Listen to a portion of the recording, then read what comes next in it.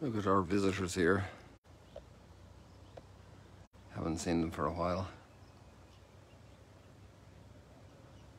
Our Egyptian geese. When I was swimming this morning, they flew over me, real low. Thanks be to God they weren't on a bombing trip.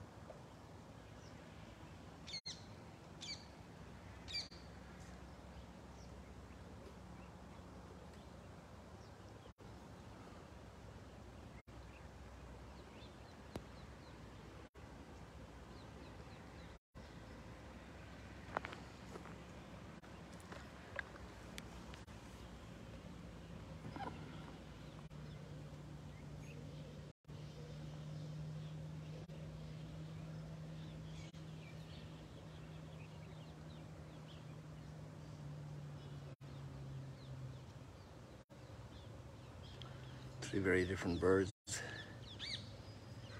we have seen this morning. Amazing the variety in nature.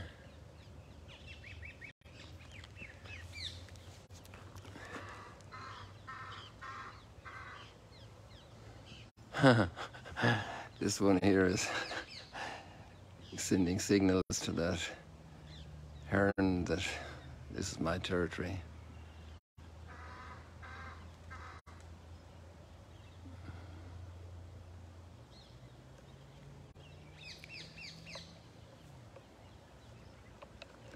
Let's go walking a little bit, stroll and chat.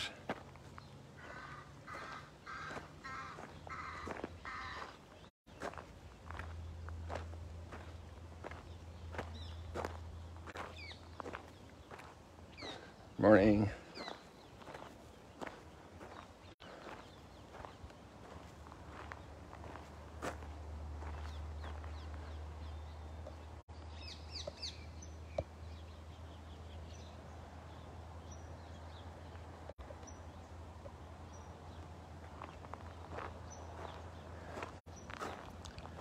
One day we will see every person in glory.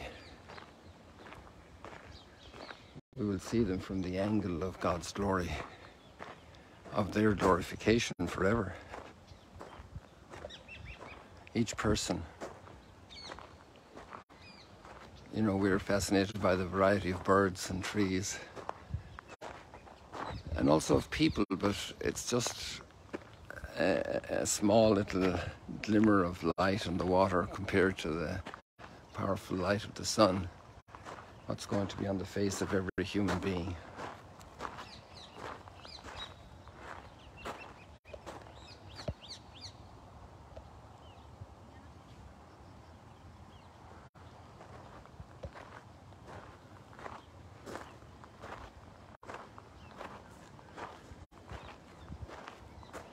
See each human being in God's glory.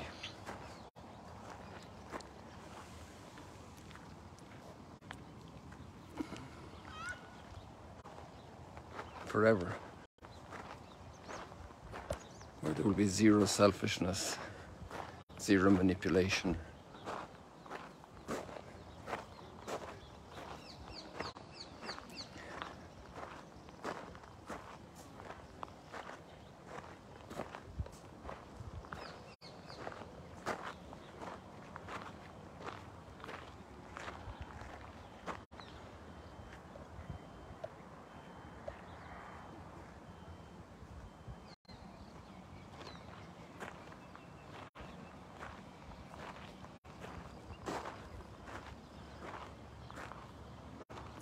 The dignity God has given the human being is amazing.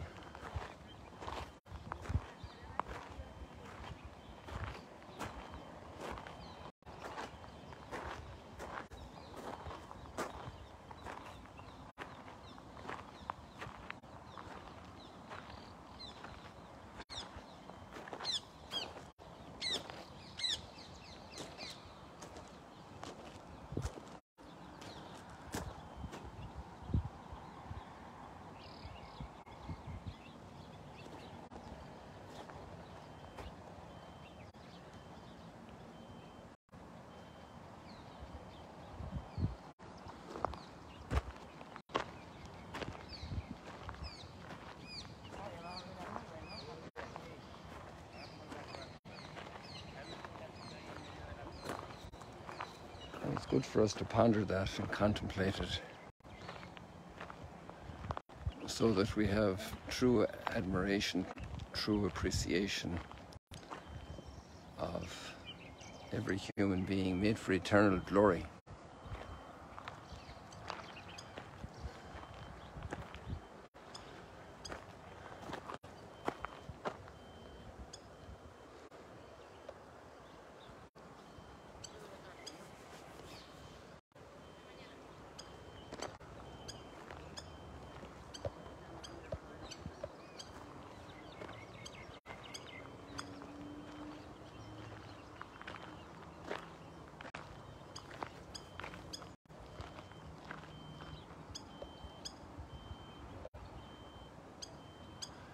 We get the glimpses, teasers of glory in this life.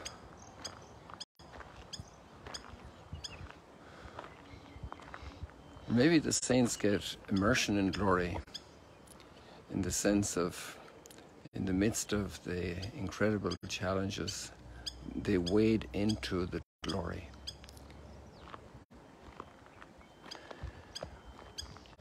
The union with the Almighty, the capturing the mystery.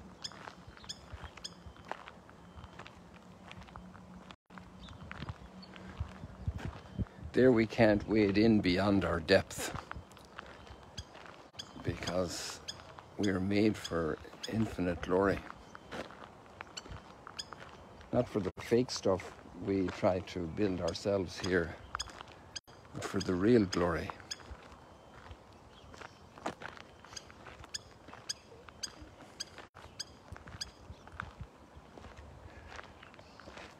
And the text we have today really oops, I forgot my little my little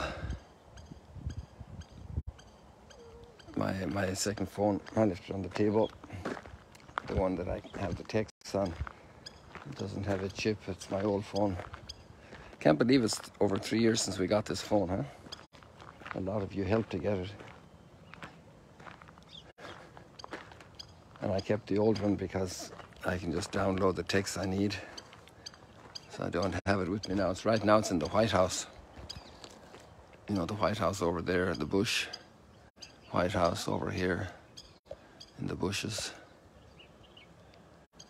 I left it on the table there.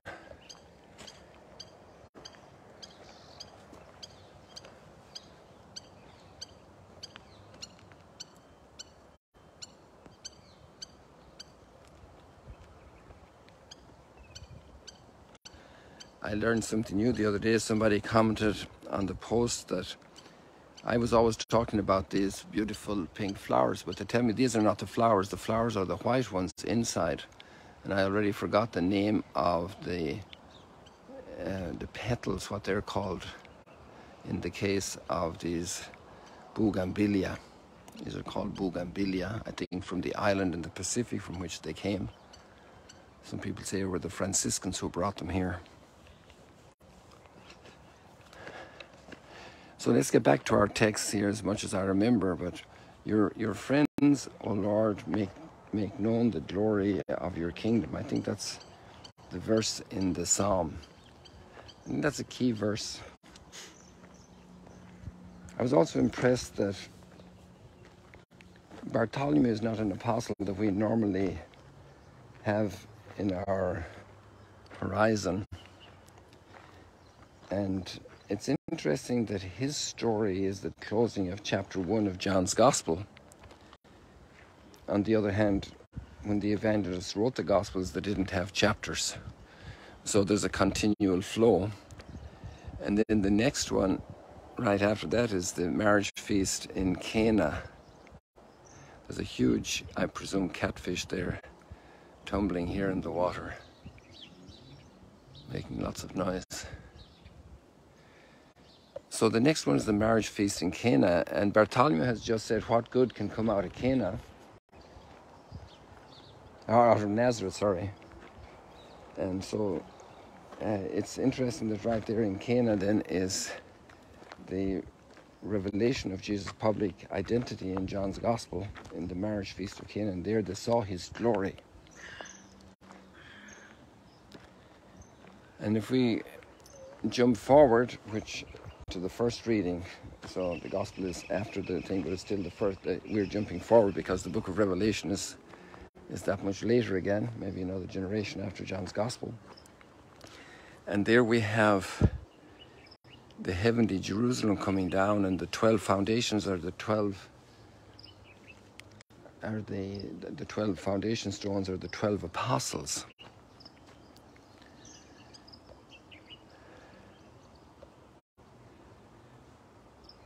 And there's one of them is Bartholomew.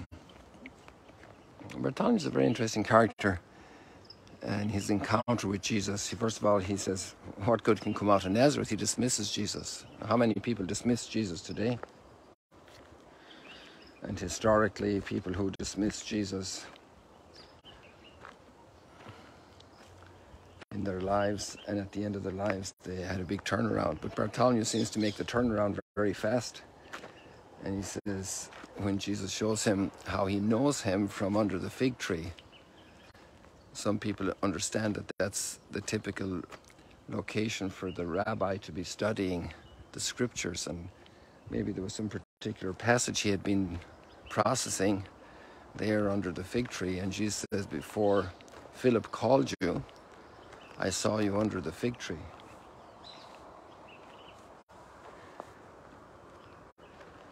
so Nathaniel is and Bartholomew are, are understood always since the early tradition of the church to be the same person. I won't go into the technical reasons for that. But um, he says, uh, You are, are the son, what was it? You, you, are the, and you are the, what, you're the, basically, you're the Savior, you're the Messiah. So he goes from dismissing Jesus to having a total confession of faith right away. Because Jesus shows him that he knows exactly what's going on in his interior, in his heart and soul and mind. And nobody could have told Jesus. There was no WhatsApp around, there was no Mossad around, there was no CIA around, there was no source of organized information. The only way Jesus could have known is because of supernatural reasons. And this struck Nathaniel so deeply, so deeply. He was amazed. And then this guy, fellow from Cana of Galilee, is one of the stones, foundation stones of the heavenly Jerusalem. And another one is Philip, the guy who called him. He's just from Bethsaida across the lake here. And another one is Peter and Andrew, and they're right from the same town as Philip and Bethsaida across the lake here. And and James and John. You know, it's amazing. Uh, and it's a, it's a wonderful indicator for the eternal glory for which we're destined. And it's not just a big sea of joy, it's every one of us counts, and every one of us in our individuality, as well as in a total deep communion.